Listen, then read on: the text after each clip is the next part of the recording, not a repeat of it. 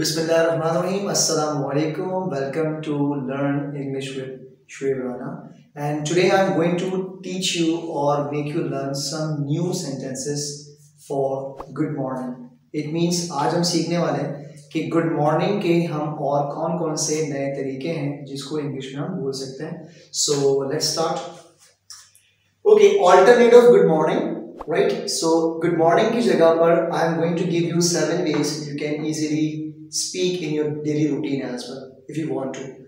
So first is it's morning now. Number two, rise and shine. Number three, it's tomorrow. Number four, morning has broken. Number five, it's dusk and dawn.